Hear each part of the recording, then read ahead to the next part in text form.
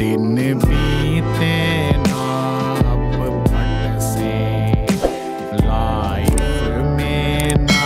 कुछ Battleground Mobile India